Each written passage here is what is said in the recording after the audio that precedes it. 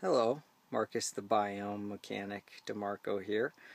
Um, I just came up with an idea. Um, watching Robert Murray-Smith's video on perpetual motion, which I will link to below. Um, we got in a discussion, uh, a few of us, about perpetual motion and Earth's magnetic field, the rotation of the Earth, and so on, and how to, you know using that to make energy. You know, and it's definitely a good thought. And uh, I have been thinking of this for a while. I came up with an invention a while ago about using the moon to as the moon Earth relationship as a generator to generate electricity. Maybe put a few coils of wire around the Earth and let the moon um, spin around it and its magnetic field induce a current that we could tap into. Um, but it turns out, I mean, I, I, I can still uh, revisit that and think about that, but it turns out that if you're using the Earth's magnetic field, um, if you're using the Earth's magnetic field, maybe if you're using the moon's, it wouldn't uh, matter. Maybe that would still work. But using the Earth's magnetic field at all to do work, what you're really doing is draining the rotational inertia or the rotational momentum of the Earth. You know, so you're basically slowing down the rotation. You might be thinking, well, how does it slow down the rotation? We're not using the rotation, we're using the Earth's magnetic field. Well, well, you just need to think of where does the Earth's magnetic field originate from. You know, if you just type that in Google, I'm sure you will find that the Earth's magnetic field originates from the Earth's rotation. It has to do with um, liquid metals and whatnot in the core of the Earth inducing a magnetic field as it rotates. So we can't use the Earth's magnetic field. We can't use the Earth's rotational energy. Well, you might be asking, well, why not? You know, the Earth has so much rotational energy. If we tap into a little bit, it's not going to make a difference. Well, I would actually beg to differ. Um, if you look at Mercury and Venus, they no longer have any rotation. They are tidally locked to the sun, just like our moon is tidally locked to us. And uh, yeah, we don't want to end up like Mercury or uh, Venus um, because they have such extreme temperature variations. One side's like 400 Celsius, the other side's like negative 400 Celsius. So it would be very uninhabitable if if the Earth ever lost its rotation. And if you look at it, um, the planets that get tidally locked are the ones that are closest to the sun first, and then and then and then as you get farther away from the sun, they lose their rotation slower. so we're next. I mean, Mercury and Venus are tidally locked, they've lost rotation, so Earth is next.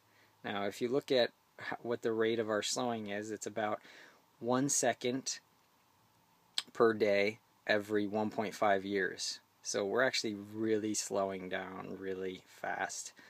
If you look at the average over the last 2,700 years, the rate of slowing is much slower than that, which means that we are accelerating our slowing.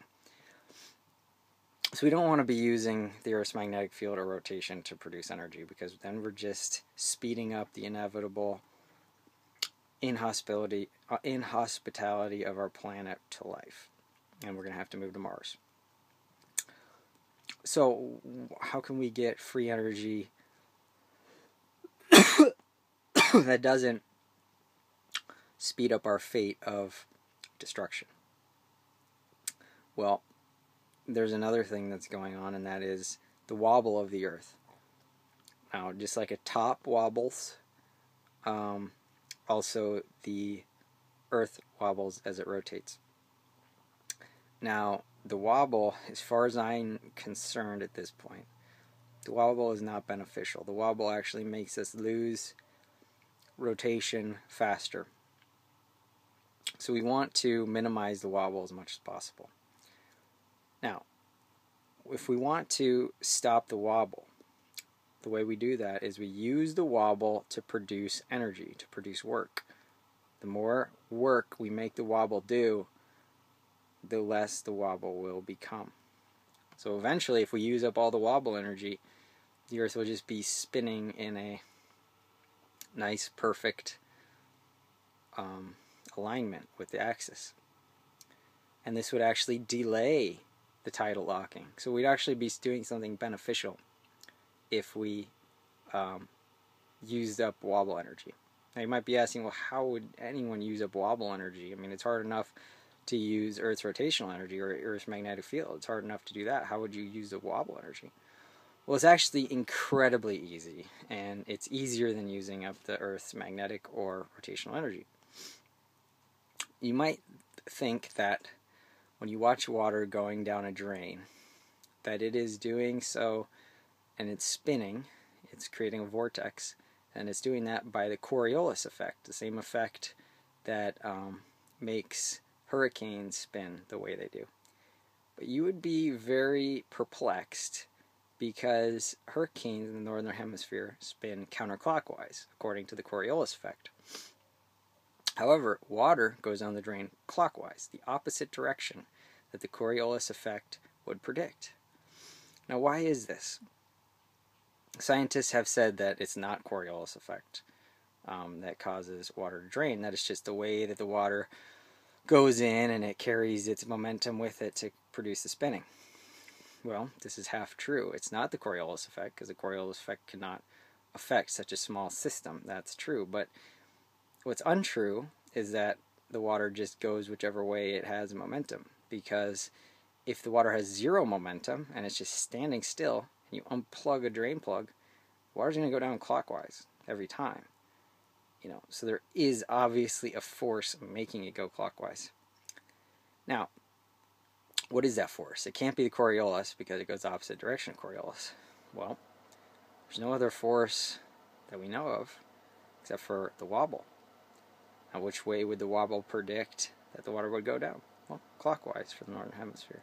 If you look online, the wobble of the Earth moves in a clockwise um, orientation, you know, wobbling like this, clockwise. I don't know if it's backwards on the video, but now if, you know, my head's the Earth's axis it's wobbling clockwise, it's going to be pushing that whatever is on the surface of the Earth is going to be push, going to pushing it around in a clockwise direction.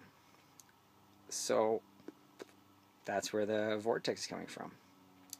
Now, Tesla used hydroelectricity to produce energy, and what he did is he used waterfalls to turn a turbine.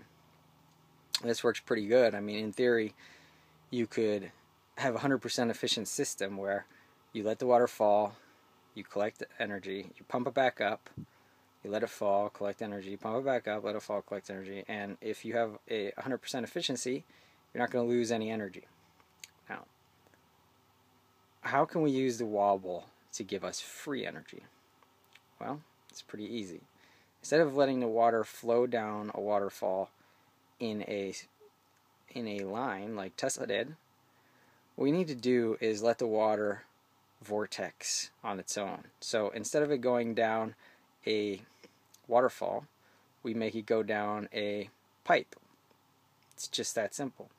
Now, as the water vortex, vortexes from the Earth's wobble as it goes down the pipe. You put a fan, um, or I don't know what to call it, a, a propeller in the water, in the vortex, hooked to a generator, and you use that vortex to produce work. And then you can also do Tesla's way and have it produce more work as it falls, converting the potential energy into kinetic energy. However, the vortex has nothing to do with Earth's potential energy. Potential energy is not affected by the vortex. So you can sap energy out of the vortex, and it's not going to use up any of the gravitational potential energy. All it's going to use is energy of the Earth's wobble. Totally free energy. So, in theory, you could get more energy by letting the water vortex spin your generator and then fall down collecting the gravitational potential and the wobble energy, you will get more work out of that than than than uh, the work it took to pump it up. So you could pump water up into a basin and then let it flow down, pump it back up, let it flow down, pump it back up, let it flow down. The more times you do it, the more energy you get profit. So it's totally free energy, and the only thing that you're using up is the Earth's wobble, which is good because the wobble is bad. So that's all. Free energy from the Earth's wobble, no negative impact, totally sustainable. I mean, in theory, it could run out, but even if it did run out, we would just have a perfectly smooth rotating planet that will rotate longer than if it were wobbling and losing rotational energy that way. So, that is all. And now you know how to make free energy. Go out and let's make some free energy and save the earth. Thank you very much.